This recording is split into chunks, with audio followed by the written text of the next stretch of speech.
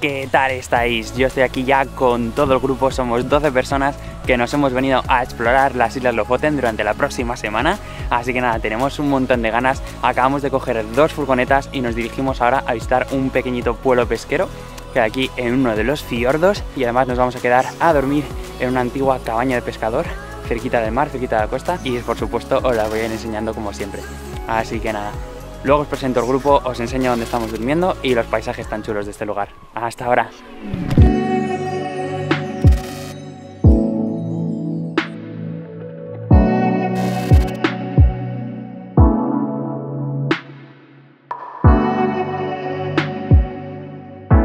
Empezamos a explorar las Islas Lofoten por el pueblo de Sund, una pequeña localidad pesquera cerca de nuestro apartamento. Sund está repleta de pequeñas casetas de pescadores de color rojo, algo que poco después descubriríamos que es muy común en Lofoten. También fue nuestro primer contacto con los paisajes impresionantes de las islas, donde enormes montañas nevadas se sumergen en el helado mar de Noruega.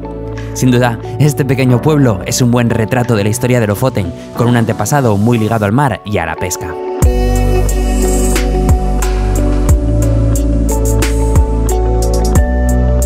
Después de contemplar los impresionantes paisajes de Sund, nos dirigimos a su puerto pesquero, donde pudimos ver de cerca tanto las embarcaciones que utilizan, como además algunas de las casas más tradicionales.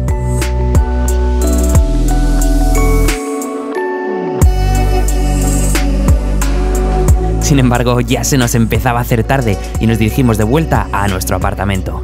Conducir por Lofoten es una experiencia en sí misma. Carreteras enrevesadas separan las montañas del mar y los puentes y túneles subterráneos conectan las diferentes islas del archipiélago.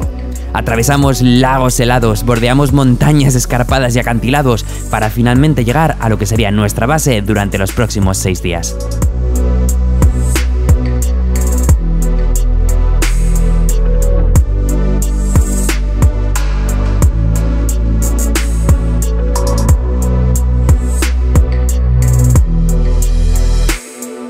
Bueno, pues ya hemos pasado nuestra primera noche en las cabañas y aunque hemos intentado ver las auroras, ayer por la noche estaba un poquito tapado el cielo y había bastante actividad, pero no las pude ver.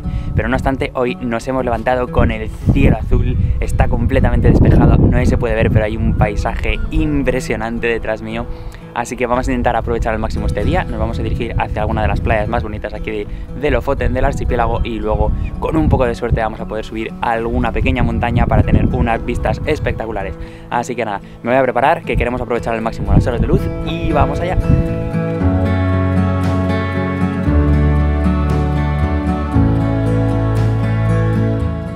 Creo que no podíamos haber elegido mejor lugar para pasar la noche. Las cabañas se encontraban literalmente sobre el agua de uno de los fiordos más bonitos de Lofoten. Cada mañana nos despertábamos viendo cómo las enormes montañas se reflejaban en el agua, mientras que pequeños barcos pesqueros pasaban por delante de nuestras ventanas.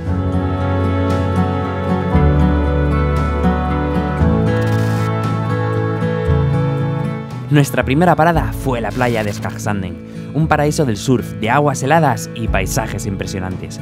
Lo que menos me esperaba encontrar en el norte de Noruega eran playas de arena blanca y aguas turquesas, pero estaba claro que era una semana que no iba a dejar de sorprenderme. Las enormes montañas de fondo solo hacían más épico el lugar, donde los restos de la nieve invernal todavía llegaban hasta el mar. Madre mía, la verdad que aquí es fácil hacer fotos y vídeos y es que da igual hacia dónde apuntes la cámara que siempre hay un paisaje impresionante, es una pasada. Estamos rodeados de montañas gigantes que acaban directamente en el mar y acabamos de salir ahora de la playa y nos hemos encontrado con esta iglesia súper bonita que vamos a visitar ahora mismo y ahora os la enseño. Venga, hasta ahora.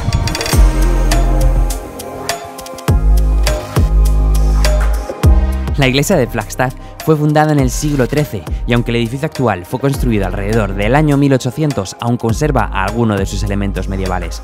Además, tengo que admitir que nunca había visto una iglesia tan acogedora como esta.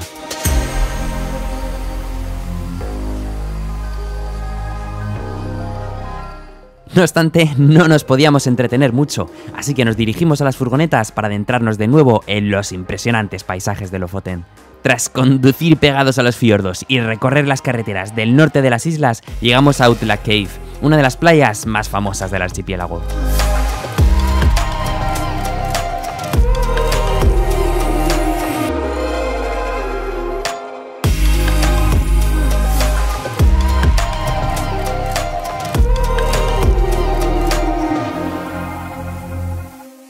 Uf, vaya susto que me he llevado antes.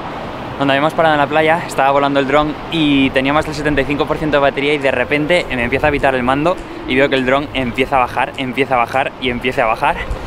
Por suerte no lo tenía por encima del mar, estaba cerca de, una, de un pequeño monte que teníamos justo detrás y lo intenté traer de vuelta lo más rápido que pude, pero estuve a esto, a esto de perderlo, la verdad. Al final conseguí aterrizarlo bien, pero no había manera, solo bajaba, solo bajaba, solo bajaba. Y por lo visto tuvo un problema con la batería por culpa del frío. Y es que aquí el contraste desde que sales de la furgoneta o desde el coche al exterior, pues claro, hay una diferencia muy muy grande y eso debió afectar a la batería. Pero bueno, lo he conseguido salvar, todavía me queda una batería, así que con un poco de suerte conseguiré grabar algo más hoy con el dron. Y nosotros ya hemos comido y estamos ahora en otra de las playas también más bonitas aquí de Lofoten. Vamos a hacer una pequeña ruta caminando para llegar de una a otra y nada, a ver si con un poco de suerte puedo volver a volar otra vez.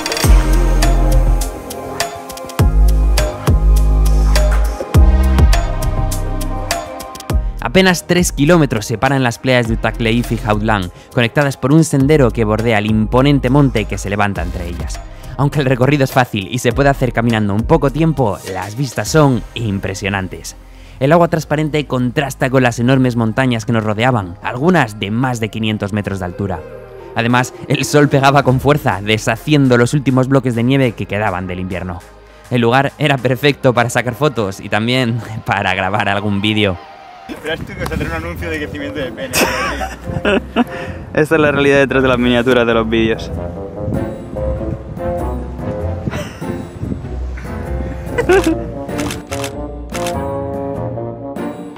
Bueno, y es que estoy que no me lo creo. Mirad qué tiempo, por favor.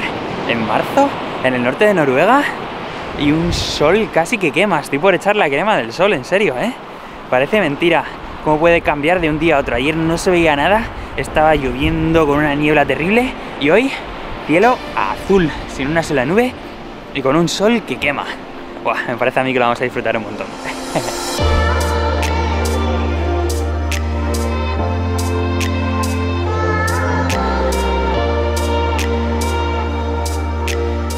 Tengo que admitir que cuando me preparaba para este viaje tenía en mente temperaturas de hasta 20 grados bajo cero, pero tuve la suerte de equivocarme por completo. El sol brillaba con fuerza y a pesar de encontrarnos todavía en invierno, disfrutamos de un calor que nos hizo quitar las chaquetas. Era el momento de dirigirnos de vuelta a nuestro apartamento, porque nos esperaba una noche muy larga. La previsión de auroras boreales era buena y el cielo despejado era el mejor indicio de lo que estaría por llegar.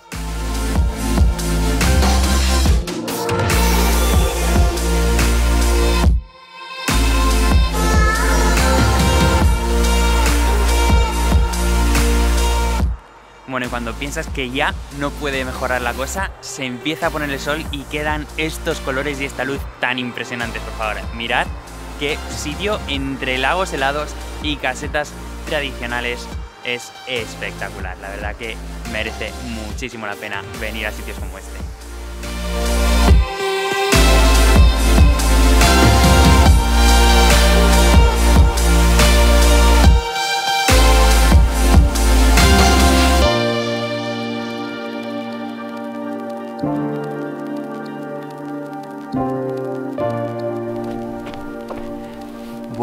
Días.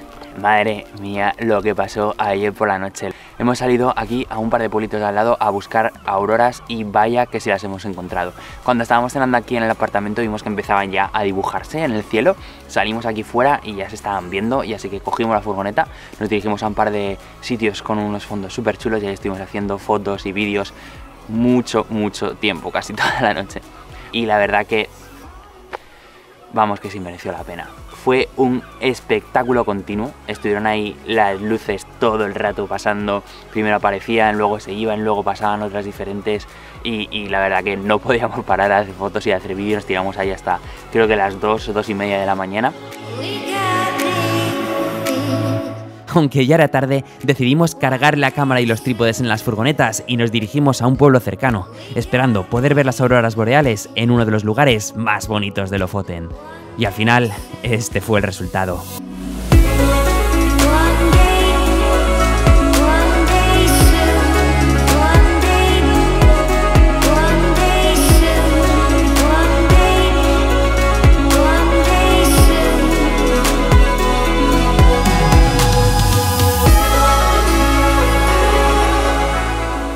Puedo acostumbrar a despertarme con estas vistas, que el sitio es impresionante, es increíble el salir por la puerta de la casa o mirar por la ventana de la habitación y, encontrarse con este paisaje, la verdad que eh, es difícil de, de describir, la verdad. Pero bueno, no nos vamos a quedar aquí, sino que vamos a coger las furgonetas y nos vamos a dirigir a explorar Lofoten otra vez. Así que nada, os voy enseñando todo como siempre y os voy contando. Nunca pensé que pudiera estar en el círculo polar ártico en zapatillas.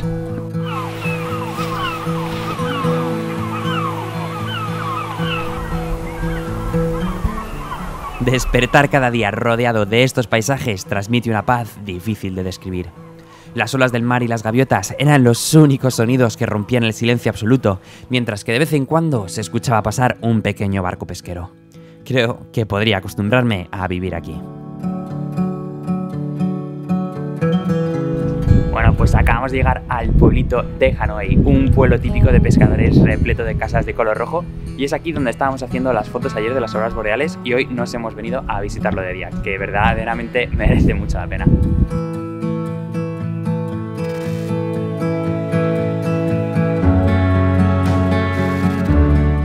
Hanoi tiene un encanto difícil de describir. Flotando sobre el agua y a la vez a los pies de una montaña, cuenta con apenas una veintena de casetas de pescadores, que hoy en día se han convertido en apartamentos vacacionales. El color rojo intenso de las casas contrasta con el blanco de las montañas y la nieve, creando una combinación de colores de lo más especial. Cerca se encuentra el pueblo de Sacrisoya, donde han reemplazado el color de las casas por un amarillo intenso. Sin duda, todos los pueblos de Lofoten tienen un encanto especial, pero no esperaba encontrarme con lugares tan similares y a la vez tan distintos.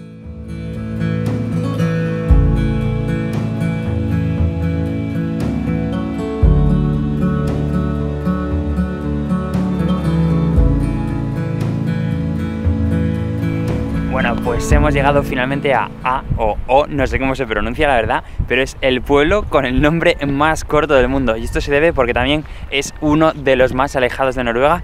Ya no podemos avanzar más por carretera. Esto es lo más lejos que se puede llegar a la isla de Lofoten y es que literalmente la carretera ha acabado aquí. Es ya el final. Una de las cosas más famosas también aquí es el contraste tan grande que hay entre las enormes montañas que tengo aquí detrás y el mar. Y es que es flipante, parece que estás en un puerto de montaña mirando a un sitio y en el otro directamente apareces en el mar. Una pasada, la verdad, los paisajes de por aquí.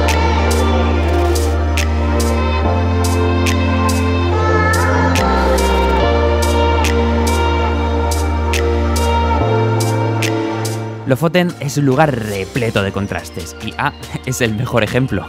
Montañas de cientos de metros de altura terminan directamente en el mar, creando paisajes tan únicos como espectaculares.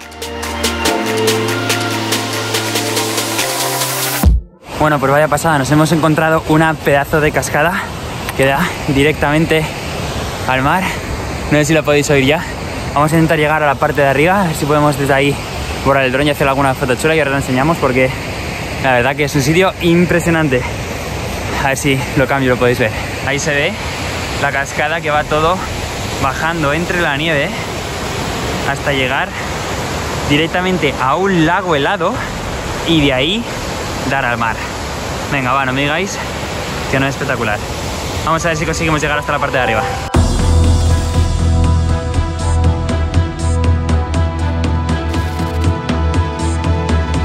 Para mí, aventuras así de espontáneas son las que más intensidad dan a los viajes.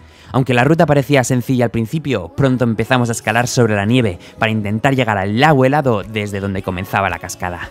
Al llegar a la cima, todo nuestro esfuerzo fue recompensado con unas vistas impresionantes de la cascada.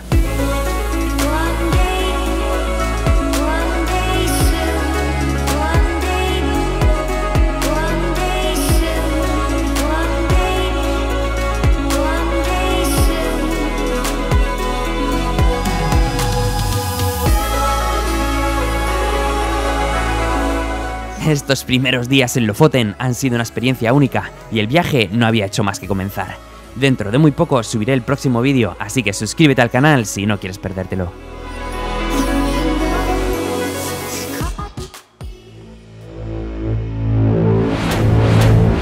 Pues amanece un nuevo día aquí en el paraíso de la fotografía.